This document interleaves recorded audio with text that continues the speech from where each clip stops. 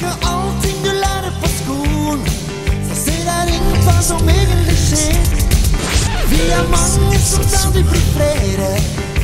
Og sammen er vi sterke.